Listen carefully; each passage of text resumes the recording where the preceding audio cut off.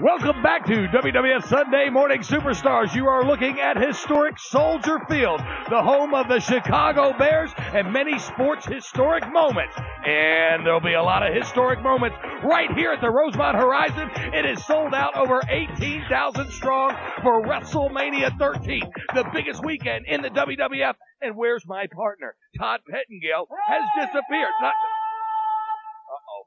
Where are you at? Where?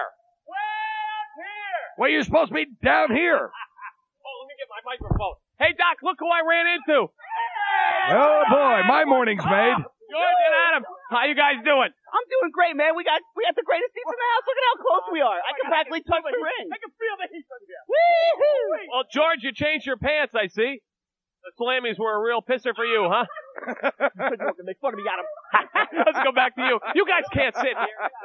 Oh boy, I'll tell you what. Let's take you back to Shotgun Saturday night. Henry O. Godwinn taking on Black Jack Bradshaw. And keep your eyes peeled because almost every tag team in the World Wrestling Federation showed up before it was all said and done.